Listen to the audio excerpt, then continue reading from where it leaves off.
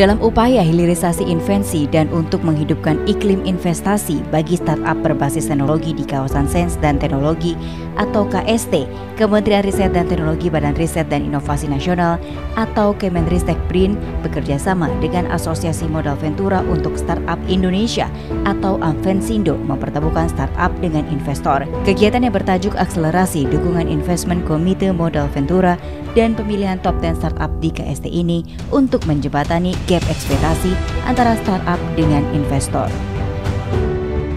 Di Indonesia itu antara syarat-syarat yang diminta oleh uh, venture capital ini dengan yang dimiliki oleh uh, calon pemula berbasis teknologi itu gapnya masih sangat jauh. Untuk itu maka kita dibantu oleh beberapa uh, konsultan maupun beberapa uh, modal ventura kita melakukan uh, asesmen kemungkinan ini nanti itu akan dibiayai uh, oleh modal ventura itu menjadi uh, lebih besar.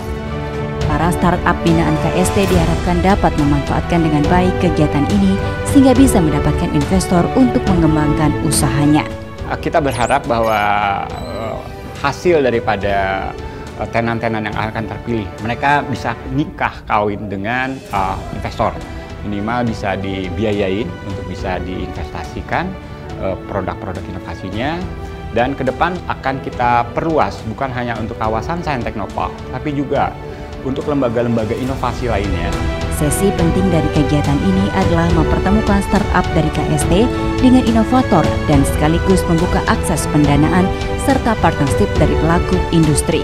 Strengthening the fundamental jadi satu yang penting untuk para tenant yang ada di STP kita tuh ingin membangun bahwa ide ini bisa di, uh, di apa namanya diaktualisasikan. Kita harus support. Salah satu mengakselerasi apa? Connecting dengan others. Pengelola KST dan startup binaan terpilih menyambut baik dan mengapresiasi inisiatif Kemenristek atau BRIN menggelar kegiatan ini karena menjadi jalan pengembangan skala usaha.